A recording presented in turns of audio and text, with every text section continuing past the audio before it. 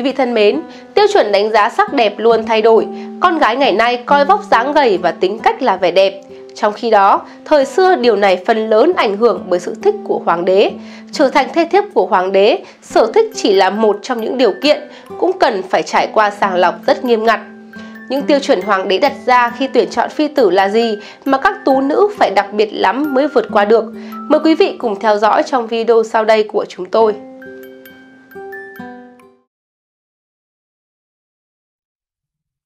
Để trở thành thê thiếp của hoàng đế, mỹ nữ xưa bị soi cơ thể khắt khe đến đâu?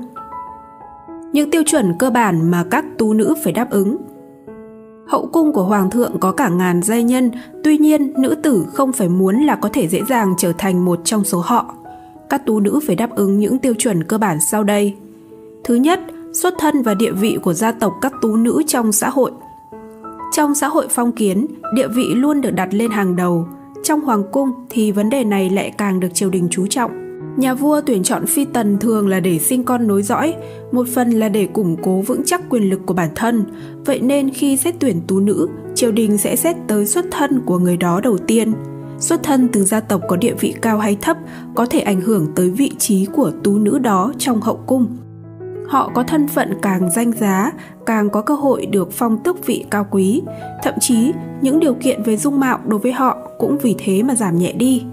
Thứ hai, ngoại hình và dung mạo. Hoàng đế là thiên tử đương nhiên sẽ được hưởng những đãi ngộ tốt nhất. Nữ nhân ở bên cạnh chắc chắn đều phải là những nữ tử ưu tú nhất. Bản thân cái tên của kỳ tuyển chọn là tuyển tú nữ cũng có thể thấy được người tuyển phải là những cô gái xinh đẹp dung mạo hơn người. Tuy nhiên, quan niệm về cái đẹp ở mỗi thời lại là khác nhau việc xét tuyển tú nữ thông qua ngoại hình còn cần dựa trên sở thích và tiêu chuẩn mà hoàng thượng đặt ra ví dụ, sở vương đặt ra tiêu chuẩn tú nữ được chọn phải có vòng eo thon thả thời đường trước những năm 690 thiên về đầy đặn Thời đường sau năm 705 thì hoàng đế yêu cầu tú nữ cần có những đặc trưng điển hình như chân ba tấc tam liên. Mỗi yêu cầu được đưa ra tùy thuộc vào thẩm mỹ của thời điểm đó. Thứ ba, yêu cầu về tuổi tác. Điều kiện này thay đổi tùy theo từng triều đại. Các phi tử khi mới nhập cung đa phần đều là những cô gái chưa đầy 18. Sở dĩ chuyện này là do ngay từ vòng tuyển chọn đầu tiên, triều đình đã dựa trên tiêu chuẩn về tuổi tác để lọc những nữ tử không đạt yêu cầu. Cụ thể, mỗi thời đại có yêu cầu như sau. Thời Đông Hán yêu cầu nữ tử tham gia tuyển tú nữ chỉ được trong độ tuổi 13 đến dưới 20 tuổi. Thời Tam Quốc chỉ chọn những ai trong độ tuổi 15 đến 16. Hoàng đế Chu Nguyên Chương thời Minh lại yêu cầu tuyển tú nữ từ 15 đến 20 tuổi. Quá trình tuyển chọn phi tần thời nhà Minh Thời kỳ tuyển chọn thê thiếp nhiều nhất trong lịch sử Trung Hoa là thời nhà Minh. Sự hỗn loạn trốn hậu cung ở các thời kỳ trước là bài học để thời kỳ này Hoàng cung lựa chọn các thê thiếp. Các phi tần sẽ được lựa chọn trong dân chúng, đặc biệt là con gái nhà nghèo, mục đích là để ngăn chặn sự xuất hiện của việc kéo theo họ hàng ngoại tộc. Ngoài ra, việc tuyển chọn mỹ nữ trong dân chúng cũng có thể để dạy cho quân vương tính cần cù tiết kiệm. Vì vậy, bất cứ khi nào hoàng tử đến tuổi thích hợp, một sự kiện tuyển chọn thê thiếp quy mô lớn sẽ được tổ chức và những mỹ nữ phù hợp sẽ được lựa chọn trong dân chúng và gửi vào cung để kiểm tra thêm. Sự phát triển của các bộ phim truyền hình cổ trang, đặc biệt là về đề tài hậu cung Trung Hoa, khiến người xem có những trải nghiệm trực quan về cuộc sống và sự tranh đấu của các mỹ nhân ngày xưa. Tuy nhiên, chúng cũng khiến người xem hiểu lầm rằng tất cả nữ nhân trong hậu cung của hoàng đế đều là người đẹp nghiêng nước nghiêng thành. Trong thời nhà Minh, dưới hoàng hậu còn có hoàng quý phi, quý phi, phi, chiêu nghi, tiệp dư, mỹ nhân, tài nhân, quý nhân, tuyển thị, thục nữ, Đến thời Minh Thế Tông Chu Hậu Thông đã thêm cửu tần và hệ thống cấp bậc hậu cung. Cửu tần gồm Đức Tần, Hiền Tần, Trang Tần, Lệ Tần, Huệ Tần, An Tần, Hòa Tần, Hy Tần, Khang Tần và nằm dưới vị trí phi. Trên thực tế, hoàng đế nhà Minh không có quá nhiều hậu phi, nhưng nếu tính cả những cung nữ trong hậu cung thì con số có thể hơn 3.000 người. Theo ghi chép lịch sử, vào những năm cuối thời nhà Minh, có hơn 9.000 cung nữ làm việc trong hoàng cung. Trong quyển Minh Sử, Hậu Phi truyền ghi chép rằng Minh Thái Tổ Chu Nguyên Chương đặc biệt biên soạn nữ huấn như một gia pháp để quản lý hậu phi. Đầu tiên, việc tuyển chọn sẽ qua vòng sơ bộ ở độ tuổi phù hợp trên 15 tuổi đến dưới 20 tuổi. Quy mô của cuộc tuyển chọn rất lớn, diễn ra trong một thời gian dài và có vô số phụ nữ được kiểm tra. Khoảng 5.000 người phù hợp sẽ được lựa chọn và gửi vào cung, sau đó tiếp tục trải qua các cấp độ kiểm tra đánh giá khác. Muốn trở thành phi tần của hoàng đế nhà Minh thì cần phải trải qua 8 vòng kiểm tra, chia thành hải tuyển, sơ tuyển, tế tuyển, tinh tuyển, cung tuyển, phi tuyển, thôi tống và cuối cùng là khâm định. Theo một số tài liệu lịch sử, khi Minh Hy Tông Chu Do Hiệu chọn lựa phi tần, ông đã tập trung 5.000 mỹ nữ trong khắp thiên hạ. Vòng 1, cứ 100 người sẽ được xếp thành một nhóm và được nội giám phụ trách kiểm tra hơn 10 mục như ngoại hình cơ thể, chiều cao, giọng nói. Kết quả là đã có khoảng 3.000 người bị loại vì có cẳng tay ngắn, ngón chân to, giọng nói quá nam tính và nhiều lý do khác. Vòng 2, các tú nữ sẽ xếp hàng như đợt kiểm tra trước. Thái giám sẽ quan sát kỹ các đặc điểm trên gương mặt, tóc, da, vân vân. Vòng 3, các thái giám sẽ dùng dụng cụ chắc lượng, tức là đo lường và kiểm tra từng tú nữ. Họ không thể mặc quần áo, trên người không còn mảnh vải nào. Nếu có bất kỳ một vết sẹo hay mùi lạ trên cơ thể là sẽ bị loại ngay. Vòng 4, trong vòng này các thái giám sẽ kiểm tra dáng đi và sự quyến rũ của các tú nữ. Vòng 5 đến vòng này chỉ có khoảng 1.000 nữ nhân vượt qua, tất cả đều trở thành cung nữ, nhưng để có thể trở thành hậu phi của hoàng đế thì phải cần quan sát thêm.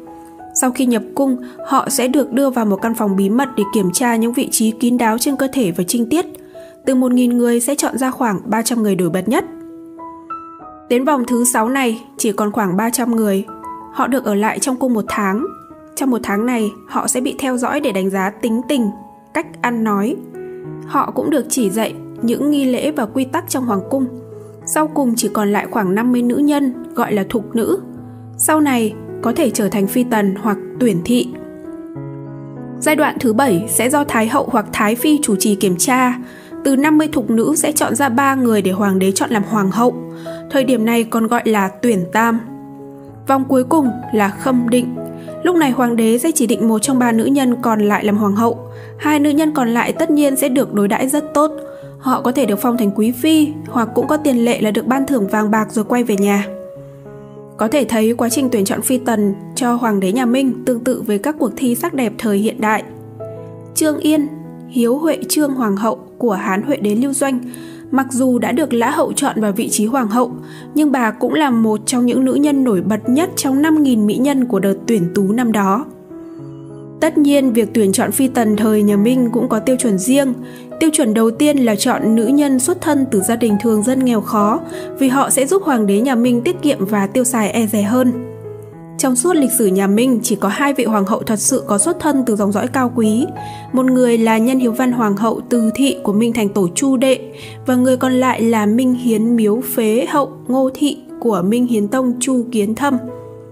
Bất cứ ai muốn trở thành hoàng hậu đều phải vượt qua 8 vòng cửa ải kiểm tra. Nếu thành công họ mới đủ tư cách để trở thành mẫu nghi thiên hạ. Đây cũng là nguyên nhân nhà Minh liên tục có những vị hoàng hậu sáng suốt và có trí tuệ. Đàn ông Trung Quốc có tâm lý thích các cô gái còn trinh tiết, người Trung Quốc gọi đùa tâm lý là châu già thích ăn cỏ non. Theo quy luật sinh lý thông thường, 13 tuổi là độ tuổi các cô gái dậy thì, cũng là độ tuổi đẹp nhất – Chính vì vậy, người Trung Quốc thời xưa mới cho rằng đây là độ tuổi thích hợp nhất để chọn các mỹ nữ cho hoàng đế. Tuy nhiên, cũng có trường hợp các hoàng đế giới hạn tuổi của các mỹ nữ được đưa vào cung xuống chỉ còn 11 tuổi. Đó là chuyện xảy ra vào đời vua Minh Thế Tông Chu Hậu Thông – Mặc dù Minh Thái Tổ Chu Nguyên Chương khi lên ngôi đã xác lập quy chế tuyển mỹ nữ tuổi phải từ 15 trở lên, nhưng vốn là một hoàng đế biến thái nổi tiếng trong lịch sử triều Minh, những quy chế của tổ tông nào có thể trở thành hòn đá ngáng đường với ông ta được. Theo ghi chép của Minh Hội Yếu, một bộ sách 80 quyển ghi chép về điển trương nhà Minh, thì hoàng đế Chu Hậu Thông từ khi lên ngôi cho tới khi từ giã cõi trần thực hiện rất nhiều lần tổ chức các đợt tuyển mỹ nữ – các cô gái xinh đẹp trên khắp cả nước có độ tuổi từ 11 đến 16 đều phải tham gia các đợt tuyển này. Vì sao Chu Hậu Thông lại bất chấp quy chế của tổ tiên mình để tuyển chọn những thiếu nữ còn quá trẻ như vậy vào cung phục vụ? Nhiều người nói rằng nguyên nhân là do Chu Hậu Thông tin vào các loại xuân dược và thuốc trường sinh bất lão của bọn đạo sĩ.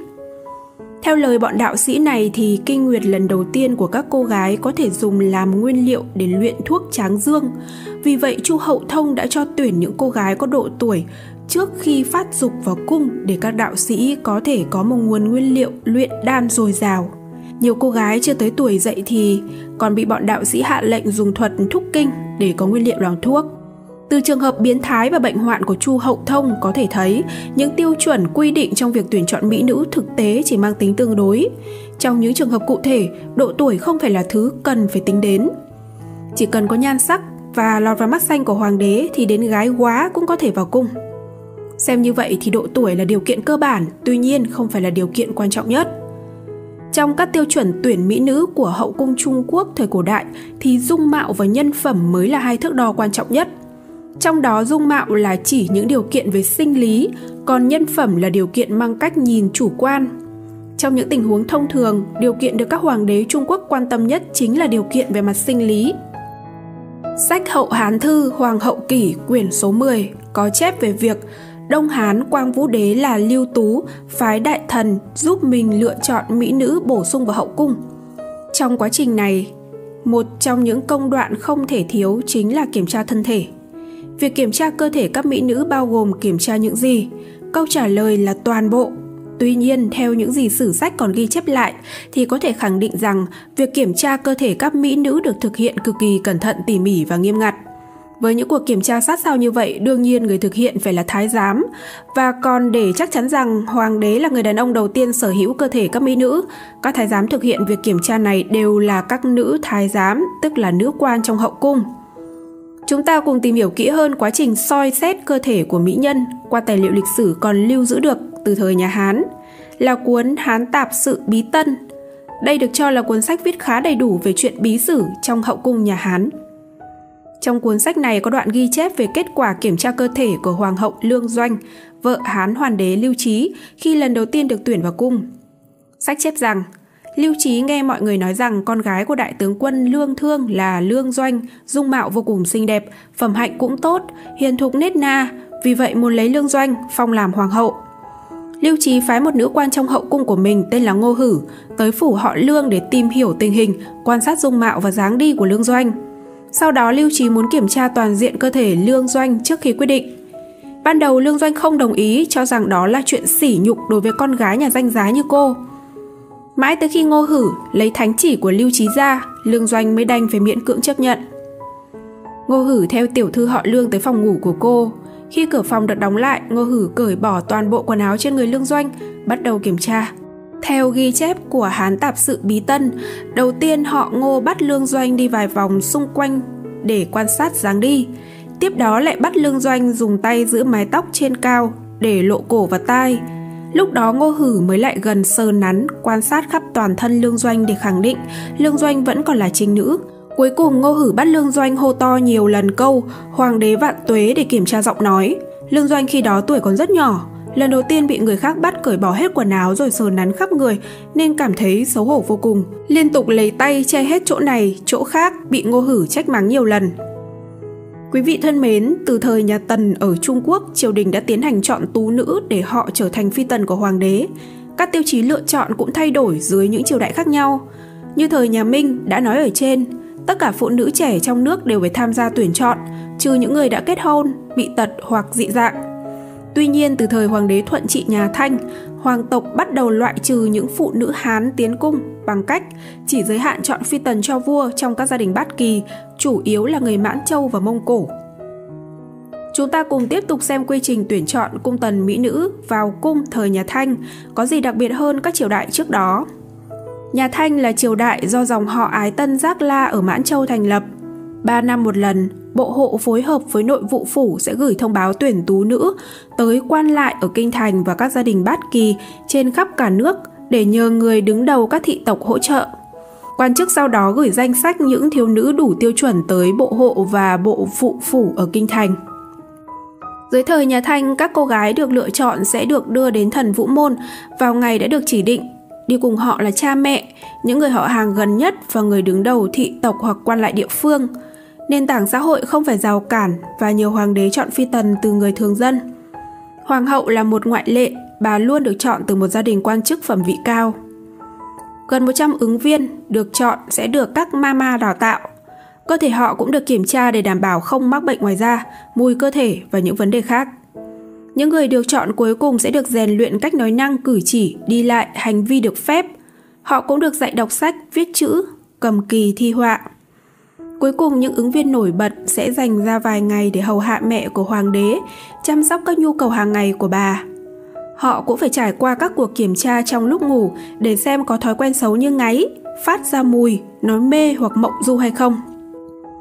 Vào năm 1621, Hoàng đế Thiên Khải nhà Minh phái thái giám đi khắp đất nước để chọn ra 5.000 cô gái từ 13 đến 16 tuổi.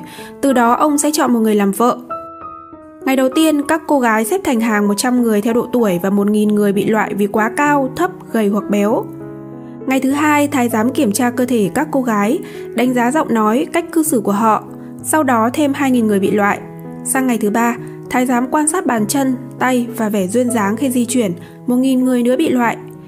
Khi 1.000 người thiếu nữ còn lại trải qua các cuộc kiểm tra phụ khoa, thêm 700 người không đủ tiêu chuẩn. 300 người sau đó được đưa vào cung, nơi họ tiếp tục các cuộc kiểm tra trong một tháng về trí thông minh, khí chất và đạo đức. 50 người được chọn cuối cùng sẽ được kiểm tra thêm về toán, văn chương, nghệ thuật và được phân cấp bậc. Ba người xuất sắc nhất sẽ được phong tước vị phi tần cao nhất. Chỉ vài người trong số họ, những người trải qua quy trình nghiêm ngặt này nhận được sự chú ý của hoàng đế và được sủng ái. Phần lớn sẽ sống cuộc đời cô độc trong cung cấm và không có gì ngạc nhiên khi sự ghen tuông đố kỵ thường xuyên xảy ra. Sắc đẹp có vẻ là một lời nguyền hơn là điều may mắn trong giai đoạn lịch sử này ở Trung Quốc. Giữa hàng trăm thậm chí là hàng nghìn người được chọn vào cung, người nào được vua sủng ái cũng phải chịu sự đố kỵ từ những người khác. Các phi tần có phòng riêng và sẽ lấp đầy những tháng ngày nhàn rỗi tẻ nhạt của họ bằng cách trang điểm, may vá, đàn hát và gặp gỡ những phi tần khác. Nhiều người trong số họ sống cả đời trong cung mà không một lần được gặp mặt vua. Trong hậu cung nhà Thanh, thứ bậc vẫn ổn định nhưng số lượng vợ và phi tần khác nhau dưới thời các hoàng đế khác nhau. Hoàng hậu tức là vợ cả của vua và thái hậu mẹ của vua có địa vị tương đương nhau. Dưới hoàng hậu là một hoàng quý phi, hai quý phi, bốn phi và sáu tần. Trong số các phi tần thời nhà Thanh, Chân Phi là một người nổi tiếng. Bà vào cung năm 1899 dưới thời Hoàng đế Quang Tự khi mới 13 tuổi. Bà được phong làm Hoàng Quý Phi chỉ đứng sau Hoàng hậu Long Dụ, cháu của Từ Hy Thái Hậu. Chân Phi là một người phụ nữ xinh đẹp và thông minh, là phi tần được Hoàng đế Quang Tự rất yêu thích. Chân Phi có ảnh hưởng trong triều đình. Bà ghét các quy tắc có xu hướng nổi loạn nên khiến Từ Hy tức giận luôn tìm cách trừng phạt. Ngày 20 tháng 6 năm 1900, Liên minh tám nước bao vây Bắc Kinh, Từ Hy buộc Quang Tự phải cùng bà tạm lánh đến Tây An. Trước khi rời đi, Từ Hy đã ra lệnh cho Trân Phi phải tự sát với lý do tuổi trẻ và nhan sắc của bà sẽ gây nguy hiểm cho hoàng tộc và cũng sẽ làm ô uế nếu bà bị lính nước ngoài cưỡng hiếp. Trân Phi không chấp thuận, yêu cầu được gặp hoàng thượng để nói chuyện. Người ta tin rằng Từ Hy đã đáp lại yêu cầu này bằng cách ra lệnh cho các thái giám ném Trân Phi xuống một cái giếng phía sau cung Ninh Hạ.